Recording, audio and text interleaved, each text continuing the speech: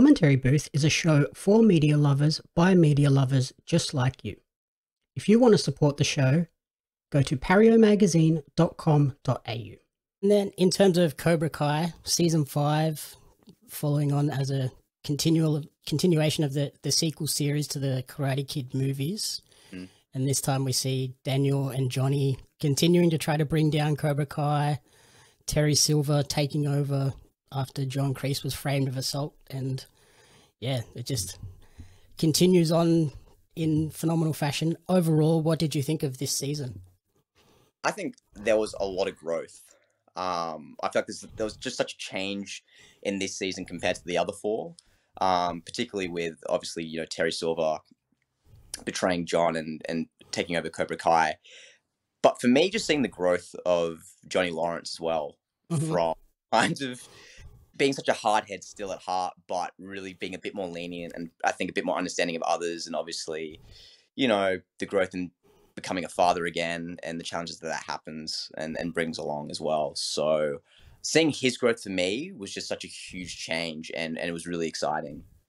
Yeah, there was there was so much growth for him because like I remember when we were first introduced to him in season one of Cobra Kai, he was the the guy that didn't use technology he couldn't use a phone or the in- the internet. He was just like send it to the internet, and then yeah. by this season he's googling conflict resolution. He's working for Uber and DoorDash, and yeah, like he's just all over the technology. I was like, okay, he's he's changed a lot. Which again, knowing me, I can absolutely relate to. So yeah, just very very entertaining stuff from his end. And then overall for me, like this season started a little bit slow, and I was like initially thinking, "Oh no, have they lost lost that special spark?" But then I think by about episode four or five, when they all the the groups sort of start coming back together, I was like, "Okay, now I'm in." And I think it finished with possibly the best final episode or best episode of the series as a whole. I absolutely agree. I was kind of in the same boat where I was again, it was a bit of a slow start, and I was kind of almost at a point where I was like, yeah, maybe maybe it's worth just kind of giving up on the series, and then all of a sudden it just switches on you. And in terms of the cliffhanger that it leaves at the end, um, that caught me off guard completely. Um, and it was one of those things where it just kept pulling you in bit by bit by bit. Um, especially with Stingray coming back as well, that mm-hmm. kind of got me into it again. Um, and obviously with this whole, you know, the the the All Valley is obviously quite the big tournament when it comes to this series. But then obviously being introduced to this Japanese tournament um, and kind of realizing that this is just such a bigger bubble when it comes to the world of karate sucked me even even more to the point of now like the the, the stakes are higher. it's just going to be there's so many more bodies involved, so many more names. You know what's going to happen. So um, yeah, very busy season towards the end, and uh, what a setup for season six. Oh yeah, like yeah, it went from this little regional small town thing of we just don't want to be bullied by the other kids to now this is like world domination states. Yeah. I was like, whoa, is that elevated to new heights with the Sekai Taikai? Yeah. Um, the other thing I thought was a little bit strange was there is weirdly a lot of karate dojos in the valley. Like, I feel like in the real world, there's there's hardly ever that many karate dojos in one town. Yeah, th- there were heaps, and for me as well, just the the amount of regular people that just seem to know karate. I, I think yeah. the, the character, his character's name, I think, was Mike, and he owned like a uh, was like a, a furnishing uh, store. Uh, yeah, the furniture guy. Like, this guy has no time for anything else. You know, he's probably got a major business. He's obviously very busy, quite wealthy. You'd think he'd put all his, you know, eggs in that basket, but here he is, an absolute like weapon at the same time. Um, yeah, like he yeah. learned karate as a kid and is still like a black belt level. Dude, just crazy stuff. So when it comes to, I guess, you know, being in the valley, you just you just don't know who knows karate. So yeah, it's full on. Uh, what did you think of, like we said at the start, a bit slow, the Johnny and Robbie going to Mexico to rescue Miguel, essentially? Hmm. I thought that felt a little bit off. Like, it felt like they set that up last season, and then when it came back this season, they were kind of like, well, this isn't really working the way we had envisioned, so let's kind of get out of this as quickly as we can. Yeah, I think it, it almost felt like they, like you said, they'd started something, and I don't know if again it was because you know it was sort of towards the end of season four, and there was such a long gap that maybe they had in mind of maybe try to just kind of reinform the viewers of what had happened.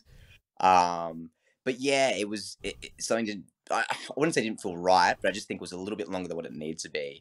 Um, but at the same time, you know, having that character arc and kind of almost having, I guess, that situation of Miguel going to Mexico kind of showed, I guess, the the father intuition of of Johnny and kind of showed a different light towards him and seeing Mhm. a bit of a change in, I guess, scenery and and seeing again, you know, a bit a bit more of a comedic side to Johnny with trying to understand the language and eventually get car towed when he just thought the guy wanted to buy his van and stuff like that and getting into fight with Australians, which you know, I mean, I found that hilarious. Josh I- Lawson I- popping up as an Australian surfer. I, of course, you know, and and uh, you know, probably wasn't right, but being a fellow Aussie, I was rooting for him so hard. But um, I feel like yeah, I I don't know if Aussies is really scammers in Mexico. So um, Yeah, I feel like we'd probably be the people getting scammed, not running the scams. or if anything, you know, we're pretty laid back, you know, individuals. I think feel like we'd help someone out without having to charge them or, or try and you know beat them up. So uh, yeah, but again, it, it was probably a bit s- slow in that sense, but also I think it may be necessary in seeing some changes within Johnny and and Robbie as well. Yeah, like it, it definitely paid off in the end where Yeah. all those elements sort of did build up to the, the crescendo at the end. But yeah, in those first couple of episodes, I was just kind of like, oh, what are we doing here? This is this is not what I was expecting from this series. I guess the, having patience eventually paid off. Yep. Yeah, they were, they were teaching us our own wax on, wax off moment there. um, and we mentioned Josh Law- Lawson popping up. There was a couple of other celebrity cameos as well. Did you notice the two UFC stars? I did. Is it again? My my knowledge with with UFC isn't great. Is it Tyrone Woodley? Yeah, so Tyrone Woodley Yeah. was one of the uh, senseis that uh, Terry Silver brings in, Yes. and the other one was Wonder Boy Stephen Thompson, who's okay. another UFC fighter as well. So I was like, that's pretty cool that they actually got legitimate fighters in to, I imagine, help choreography as well as act. Yeah, I'm sure that was the case. It was interesting because it was one of those things where I, I felt like, I've definitely seen you before, but I'm not sure if I'm.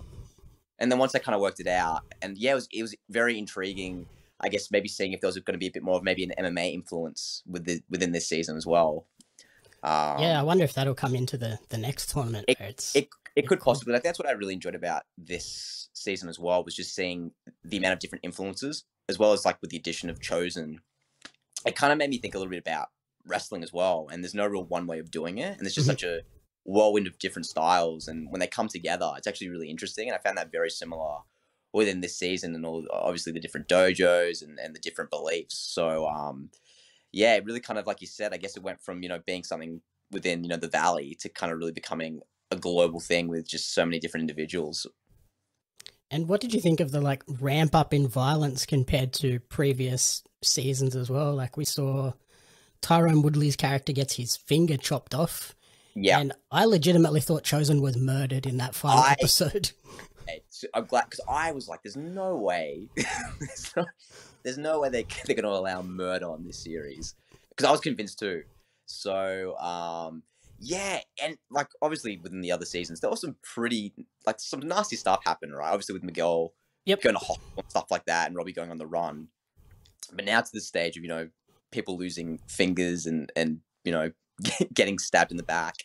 Yeah, it's really taken a dark turn, but obviously, and we, and we just discussed it earlier. I think you know you and I being kind of a fan of like Tarantino style films. Um, it kind of gave me a bit of Kill Bill, uh, Oh, Kill yeah. Bill vibes. So I was kind of like, I was kind of like into it, and I kind of liked, in a way, them taking a risk because I do feel like it was quite family orientated at first, and it still kind of is.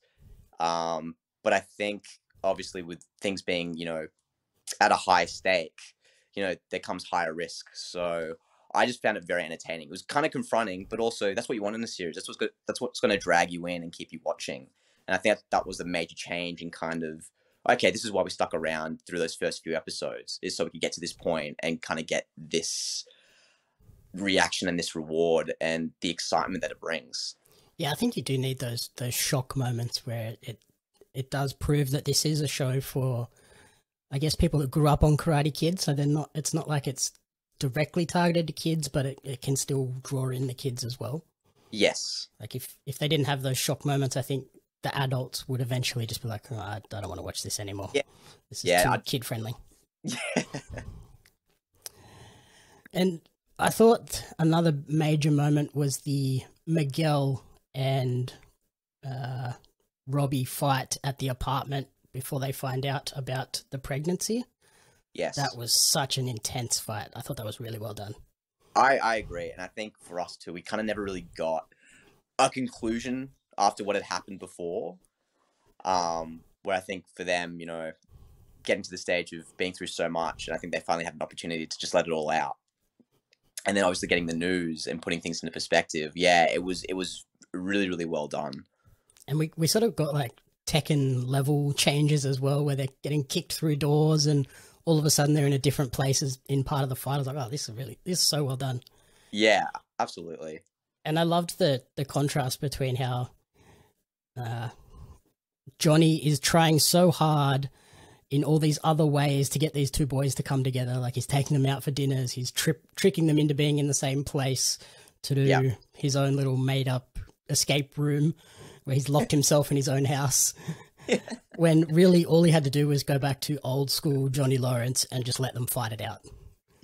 Yeah, which is it's funny because I guess kind of you know him becoming a, a dad again, you'd kind of think the opposite of being a parent and you know not wanting to resort to to I guess violence. But I guess in in this scenario and, and who he is as a person, in a way with karate, violence somehow kind of shaped him and helped him out in a lot of situations. So I guess in this case, like you said, he really just had to kind of like just sit back and let them just handle it.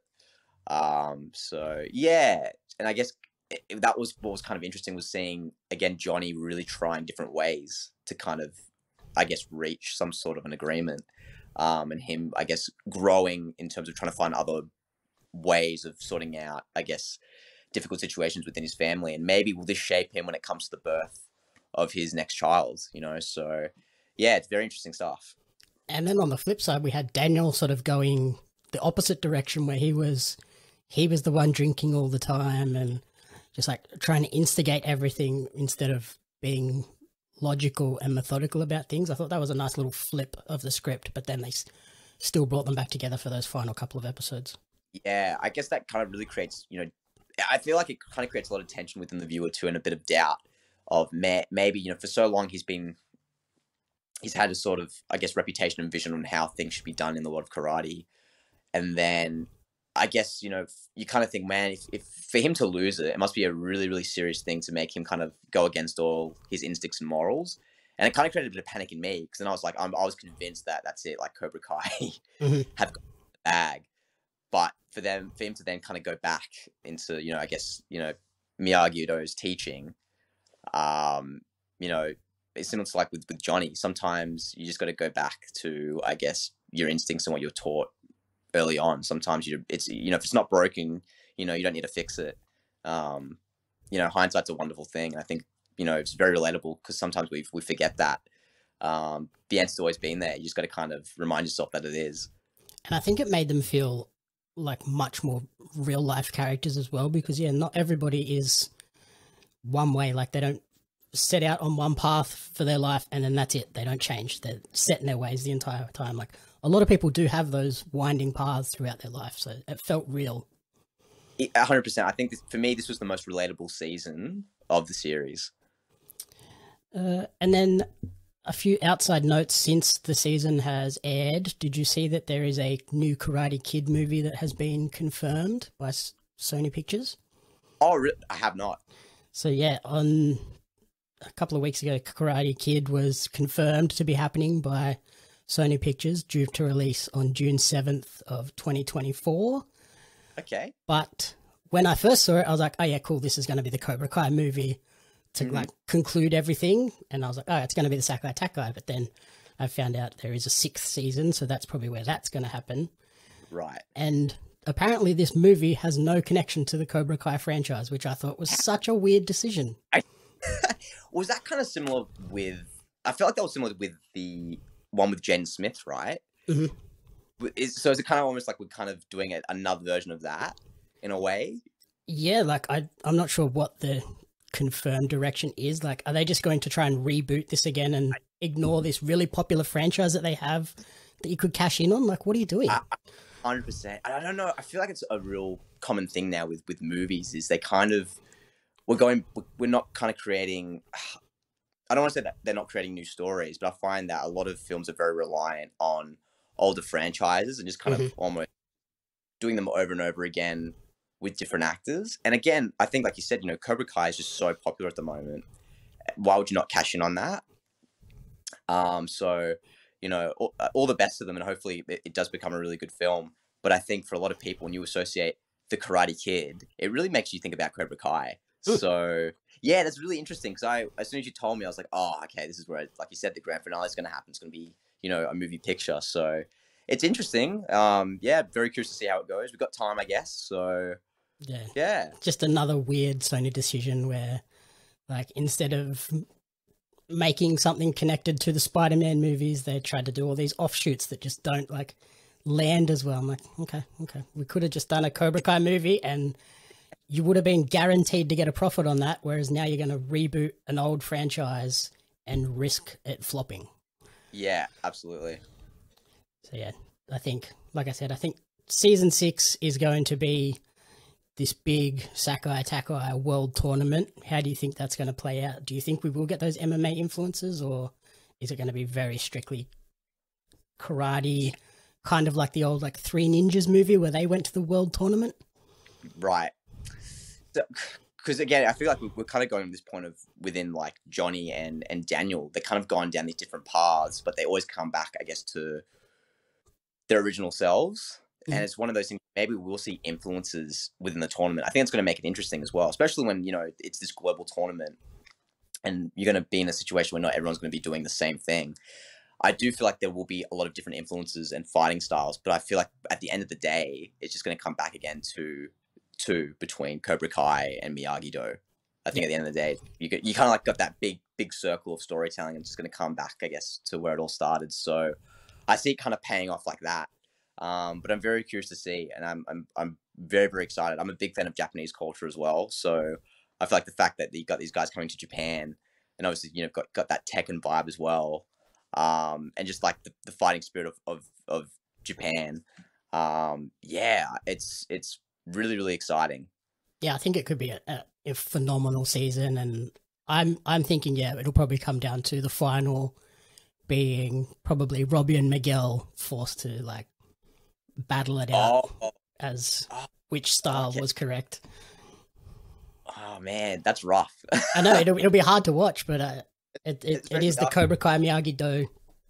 It is. It is, especially after like I feel like we kind of yeah, because I almost felt like we had that conclusion of like, okay, I guess Robbie and Miguel have kind of forgiven each other and they are in a good headspace. But I guess at the end of the day, now we're going to see them in the headspace of competition, which in itself might be even more exciting. So, yeah, that's heavy stuff. Mm-hmm.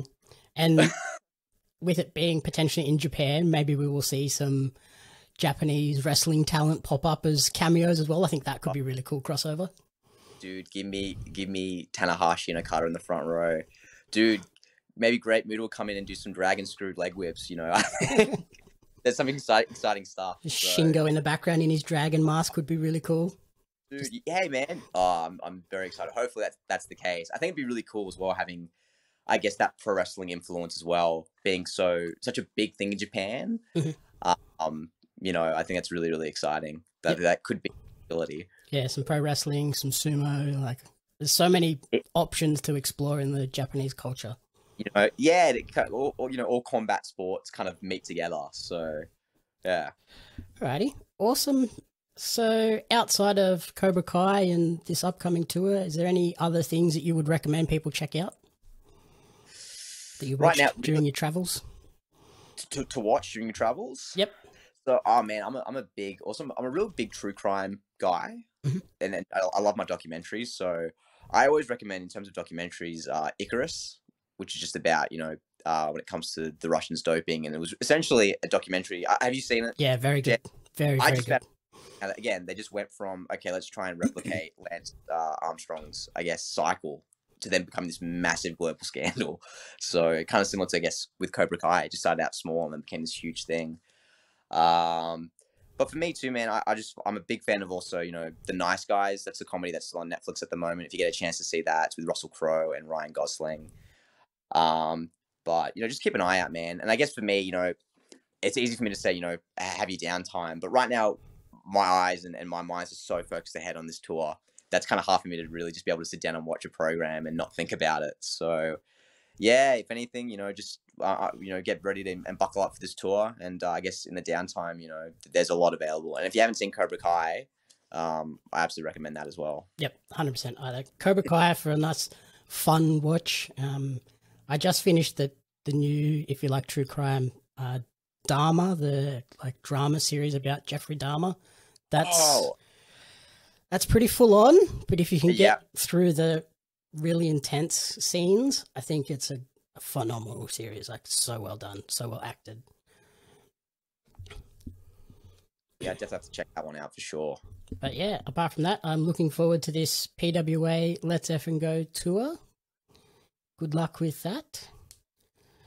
Uh, yeah, so Thank you everyone for listening to the commentary booth. If you enjoyed the show, please remember to rate, review, and subscribe on podcast services, YouTube, and iTunes. Uh, not iTunes anymore, just podcast services and YouTube.